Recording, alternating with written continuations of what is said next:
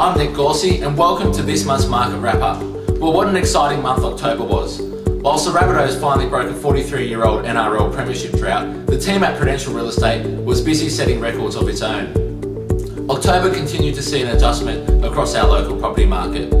There is no doubt that with an increase in the volume of property coming online in recent weeks, that we are starting to see the active pool of buyers spread across the marketplace, which is resulting in a slightly less competitive bidding environment.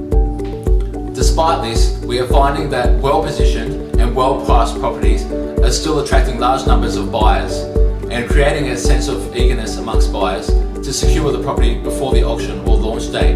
A great example of this was 118 Leumeah Road in Leumeah, which attracted 67 buyers over the course of the well-executed property launch campaign and sold for a huge $540,000, which was $40,000 above the top end of the price guide.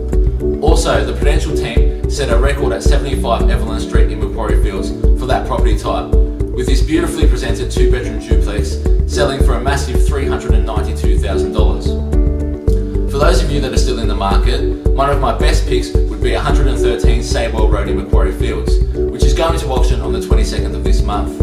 Located in the Macquarie Fields Selective High School zone, this property sits on approximately 1120 square metres of land, consists of approved for subdivision subject to council approval.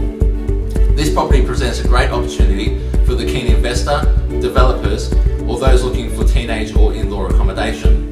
With the weather and the market heating up, this is a great opportunity to get out and inspect property. If you are looking to sell, you have five weeks to capitalise on strong market conditions and to get sold before Christmas. Well, thanks for tuning in. I'm Nick Gauci and I